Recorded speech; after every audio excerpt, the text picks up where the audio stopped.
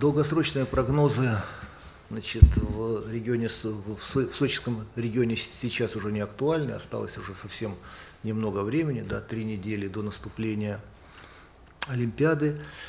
Вот, ну, я могу просто сказать позитивные факторы. Вот сейчас снег отмечается практически вот на всех олимпийских объектах.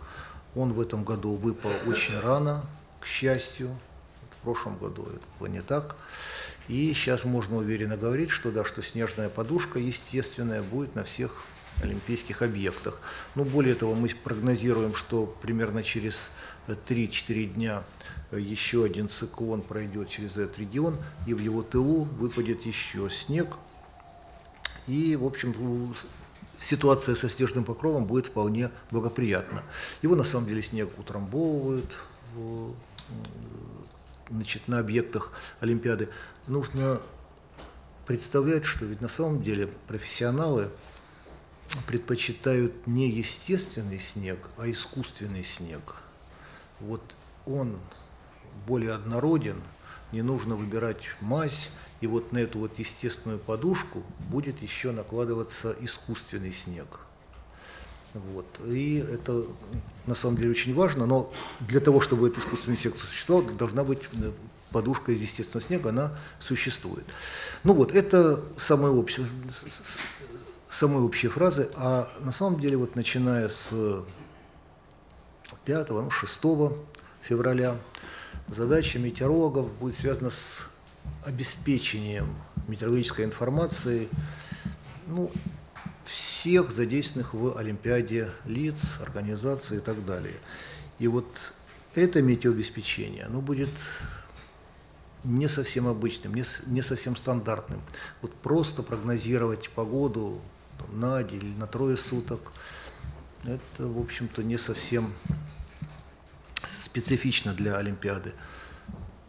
Туман с утра образовался. Вот нужно будет спрогнозировать, через сколько он рассеется. Через 20 минут, через 3 часа от этого будет зависеть значит, там, перенос стартов.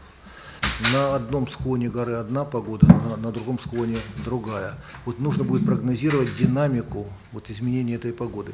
И мы вот к этому вот 4 года готовились. Поэтому вот степень подготовки ну, такая достаточно высокая. Мне уже приходилось говорить о том, что специально для сочинского региона была адаптирована мезомасштабная модель, которая шагом 2,2 километра описывает изменения погоды. Синоптики умеют использовать эту информацию, выходную продукцию этой модели, качество ее сейчас до достаточно хорошее. В Сочинском регионе установлены новые, новые, новый инструментарий.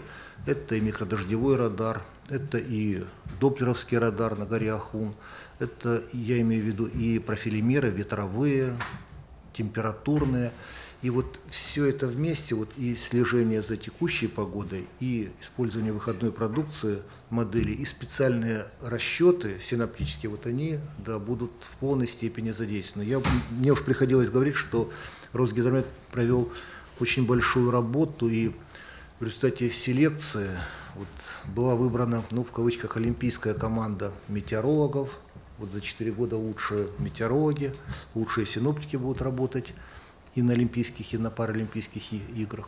Вот 37 человек во главе с главным метеорологом Валерием Ивановичем Лукьяновым. Он одновременно является заместителем директора Гидромедцентр России. Вот все, вот, вот, вот, вот мы сейчас готовы к тому, чтобы обеспечивать вот этой информацией прогностическая, актуальная информация, значит, да, что будет на том, вот в районе биатлона, что будет в районе значит, карусели, что будет в районе скоростных спусков и так далее. Вот я полно отвечаю его вопрос, потому что он очень актуальный для нас. И, наверное, еще имеет смысл значит, напомнить, что в результате значит, выпущенной вот, значит, рекомендации Всемирной метеорологической организации многие страны развитые в метеорологическом отношении, подключились к метеообеспечению Олимпиады, и, и Соединенные Штаты, и Канада, и Норвегия, и Швейцария, и Италия, и Корея выпускают прогнозы по этой же территории. И вот ну, есть такой специальный прогноз, э, специальный проект международный «Фрост», и вот синоптики наши усваивают, анализируют все эти прогнозы, добиваясь того, чтобы выпущенный, ну, трансформированный ими вот, прогноз был максимально точным, максимально вот надежным.